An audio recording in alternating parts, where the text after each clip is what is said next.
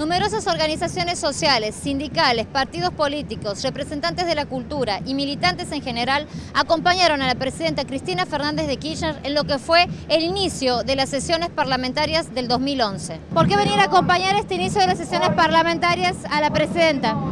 Nosotros somos Artes Visuales con Cristina, somos una agrupación no partidaria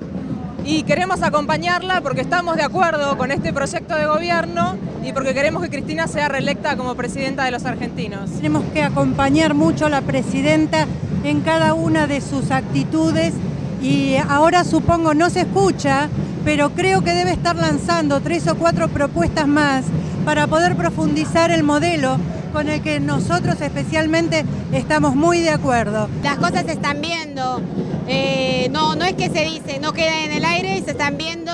más escuelas, más, eh, más autopistas y digamos todas esas cosas, la gente más,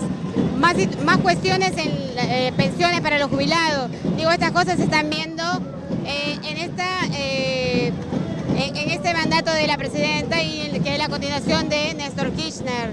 Eh, bueno, las cosas no, no es que uno las dice por el aire, se ven, son reales. Hoy tenemos un país, gracias a una decisión política, de un proceso, de un proyecto que nos propusieron Néstor y Cristina, de tener un país que, puede pensarse a, mediano, a largo plazo,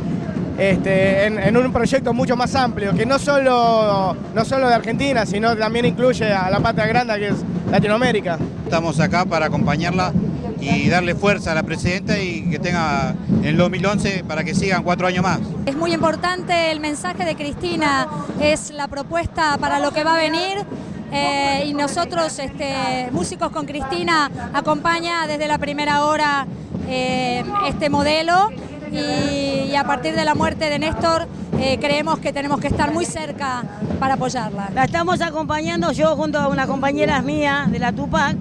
porque después de varios años es la primera gobernación que nos vuelve a dar la posibilidad del trabajo a la gente humilde, educación para los chicos y ahora con este nuevo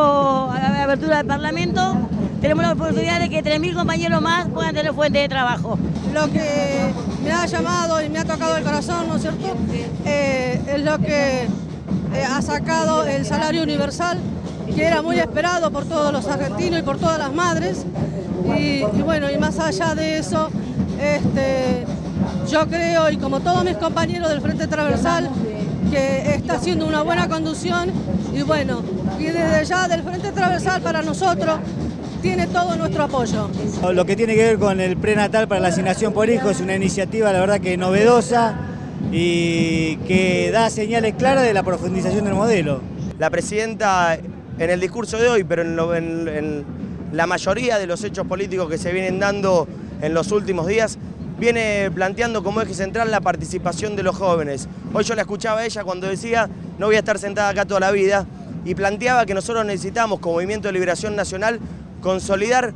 una, nueva camada de cuadros, una nueva camada de militantes populares que nos permitan hacer eso que planteaba Néstor Kirchner, el trabajamiento generacional, y consolidar un proceso que garantice la felicidad del pueblo argentino.